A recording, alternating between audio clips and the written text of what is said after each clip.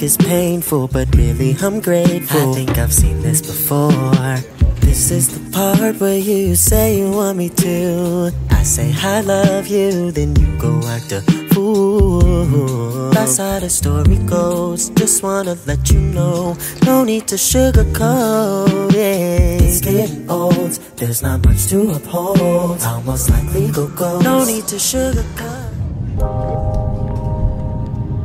Okay, so we are taking, my girlfriend and I, a spontaneous trip all the way to Northern Europe, specifically to Sweden.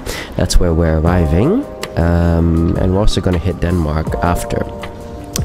Um, so we got to, we're getting to the airport uh, now, and as you can see, it's not too busy. Uh, we're in Stockholm again, and not too busy at all, which which is nice. Uh, we thought the airport was rather simple, not too big as well, and then we're going to get some tickets to get into the city center, and then eventually find our hostel. So hopefully, that shouldn't uh, be too hard. And it's already quite cold; you can feel it coming from Hong Kong, uh, where it's always very humid, especially this time of year um, it's, a, it's a big change. So now um, we're in the center, or central station rather, and we're trying to find our way. We're still navigating uh, the lines and the routes and whatnot. And as you can probably already see, the train stations are really quite distinct in Sweden. They're actually famed for their aesthetic, their interior, uh, but maybe I'll talk about that a bit more later. So here uh, we are at our not really a, it's not really a hotel it's like an airbnb. Just a simple uh, place where we are staying uh, maybe 10 or 15 minutes out of the city center and it's quite simple. It just has a big bed a little kitchen counter area with some amenities it has a nice little bathroom. It's all very clean all very simple and it's right on the street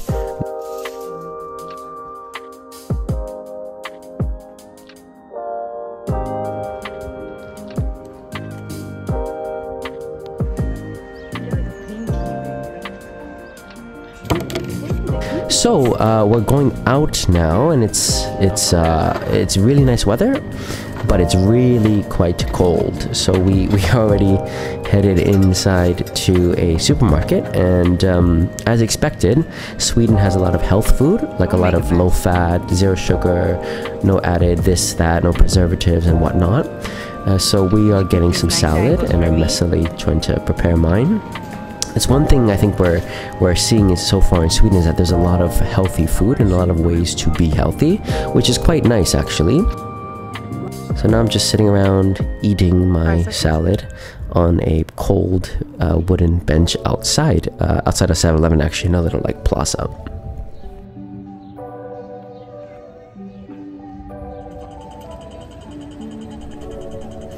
Okay, so this is downtown. Um, first impression, we thought um, it feels not quite European. It feels more Western, kind of like this nondescript, just what you think of when you think of a Western city. Although there's some things like, as you can see there, Åhléns City, that are that feel a bit more European, uh, like this candy store we found as well. But I think we're feeling so far that it feels a bit more um, just like Western. Um, so yeah, we, we're gonna get some candy and some gelato now because Sweden is famous for that. So it's kind of a must try for us. Um, so far in the sort of old town, which is where we are now, there aren't that many people, aren't that many tourists from what we can tell. Uh, but then again, I didn't really expect that many because I don't think many people go to Scandinavia, and if they do, they probably go during summer where the weather is much milder. Uh, these are all the different candies and they really go like all in with the candies and as you can see with uh, gelato and everything because I think it's a big part of their culture which is kind of paradoxical because like I said they're really into eating health food so I guess this is their their guilty pleasure. But yeah, this store has a lot of good stuff. It's, you know, one of those very typical touristy places. Not necessarily a tourist trap, but feel a place that tourists would gravitate to. And we decided to get, I think, this pumpkin spice, maybe pumpkin spice. I think it was um, uh, gelato, and then we also got some chocolate balls. I think they're called. Maybe there's a nicer name for them. And yeah, that's what the gelato looks like. I've already had a bite, as you can see.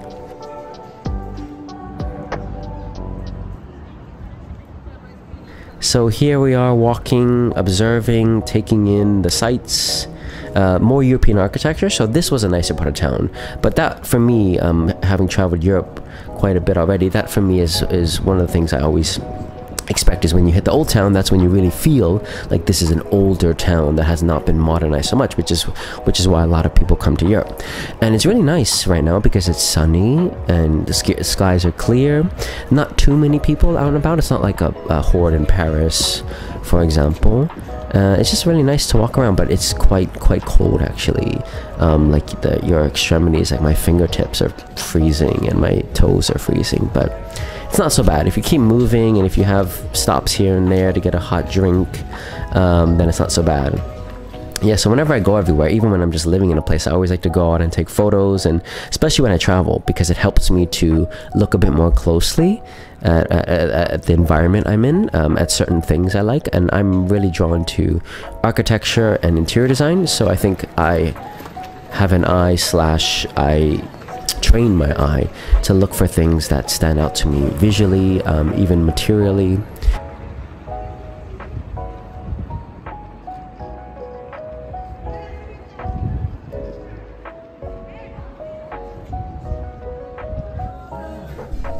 Oh, so here's this restaurant we kind of popped into. It's in one of those, I think they're kind of called like a, um, like an arcade, kind of like a shopping or a restaurant arcade. So this is one of those, nothing special, just some beer, some Swedish, I think, food maybe.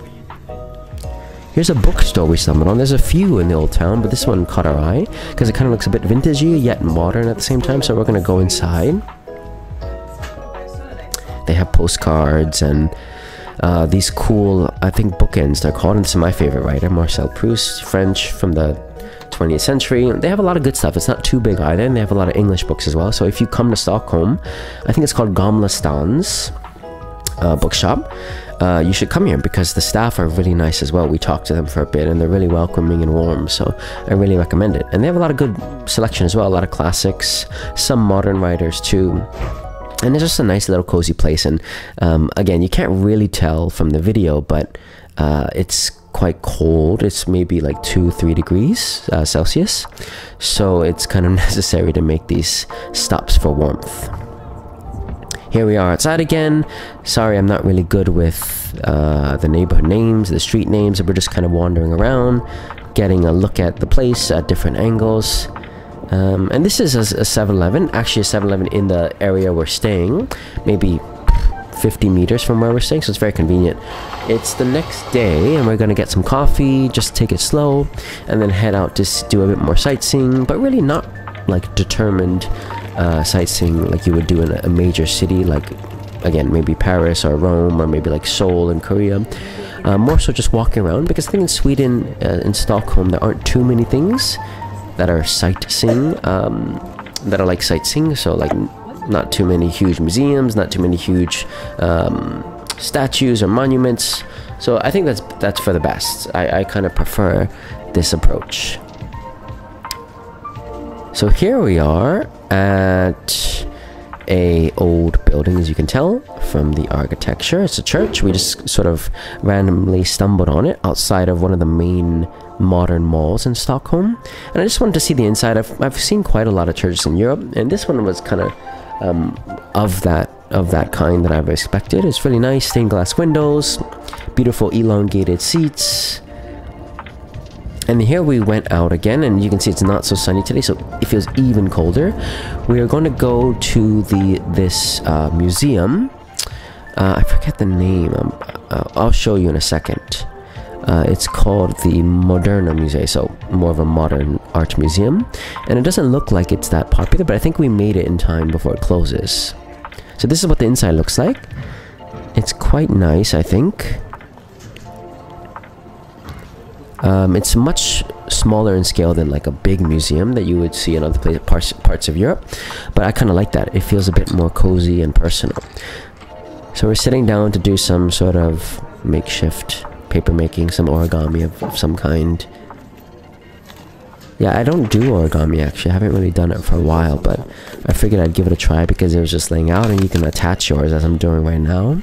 You can attach it to the collection that everyone else has made, which is kind of nice. You just leave your own personal stamp there. and there's a bookstore right attached to it. It's kind of a book slash souvenir store, and they have all kinds of trinkets and these necklaces and glasses and diaries and things like that. All these all cool books as well. So we're just walking around here for a bit and enjoying it. Um, actually, the lady told us that the exhibit will close very soon, so it's not really worth going in at this moment because we'll be rushed. So I think we'll come back hopefully on another day, although our time is limited in Stockholm. So we'll see. I'm not too bummed out because I, I think I have a sense of the art. There were some brochures that we could that we looked at, um, and I really like this this uh, this. Uh, it's not really a library. This bookstore. I really like this store because it has a lot of quirky odds and ends, a lot of things that you wouldn't normally see in a bookstore. Uh, so it kind of feels like it's like it what it, it is what it is, which is a bookstore attached to a museum, which has a nice um, feeling to it. So yeah, I'm just gonna walk around a bit more, just get a look at some things. I don't think I'll buy anything because I didn't go into the museum yet. So this is a gym we found. We were meaning to go to the gym, this is a gym we found actually in the neighborhood where we're staying. We figured we'd get a quick little bit of exercise in uh, because we always like to do that and make sure you know we don't really fall off because we're we're quite. I think both she and I are both quite. Um, committed to to a healthy lifestyle. So lifting weights and moving always feels good. So we go out of our way actually sometimes to find a place where we can, you know, do exercises and and sweat a bit. I think we always feel healthier. And sometimes people ask like, "Oh, uh, you don't want to? Why do you want to waste an hour of your your precious time abroad when you're traveling when you could be sightseeing?" But the way I see it is, you're probably going to waste an hour in some way, um, regardless. So I think I'd rather use that towards something like working out. Yeah, well, anyway, that's it for part one. I'll see you guys next time uh, in the next video.